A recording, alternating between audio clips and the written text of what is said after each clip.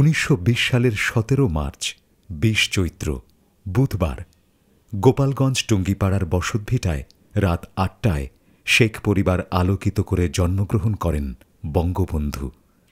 নাম রাখা হল মুজিব, পুরো নাম শেখ মুজিবুর রহমান।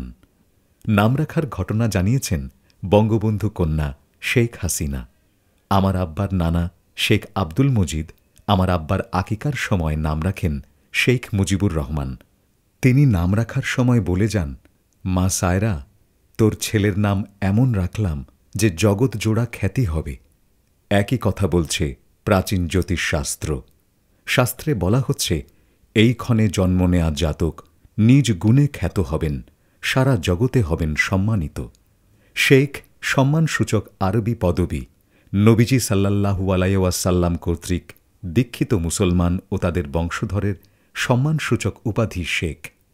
মুজিব শব্দটিও আরবি, অর্থ উত্তর বা সাড়া।